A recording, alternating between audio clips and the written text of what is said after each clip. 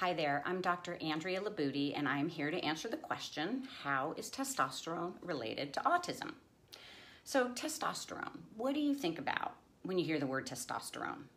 Male, strong, He Man, right? Well, yes, but there is so much more to testosterone than big muscles and a deep voice. You know, there are several studies that link higher levels of testosterone to autism.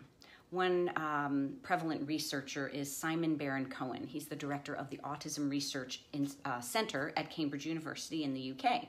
He's facilitated several studies, and a lot of his work details a link between high prenatal levels of testosterone and autistic behaviors. Fascinating information. Um, so, testosterone not only masculinizes the body, it also masculinizes the brain. And the effects of testosterone on the brain are well documented and there are distinct differences in the brains of those with autism compared to typical individuals. Now, a couple of um, I think, uh, important studies related to testosterone and autism. So, researchers at the Medical College of Georgia have discovered decreased levels of, it's called estrogen receptor beta.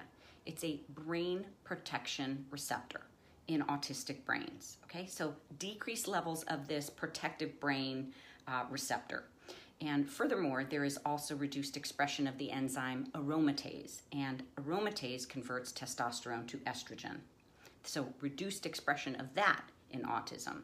So, uh, less estrogen, more testosterone. Pretty simple connection that we can assume or hypothesize um, in terms of why there's, you know, four to one boys to girls.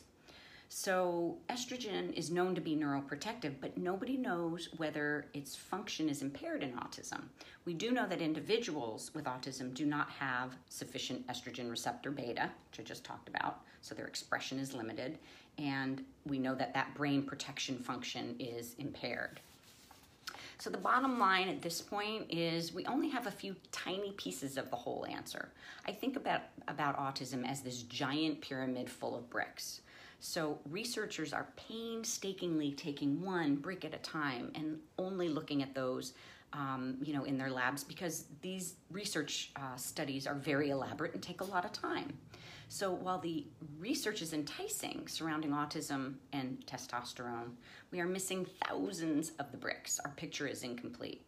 So higher levels of testosterone have been linked to autism, but the exact details are still to be discovered. So we're we're finding correlations, but we have so much more to go. But it's an interesting, um, it's an interesting platform to, to jump off of. So I am here because I want to change how the world uh, views autism. I have a lot of stuff over on my website. I hope you'll join me over there. It's andrealibutti.com. Um, I'm here to make the world a better place for everyone, autistic and neurotypicals. Thank you.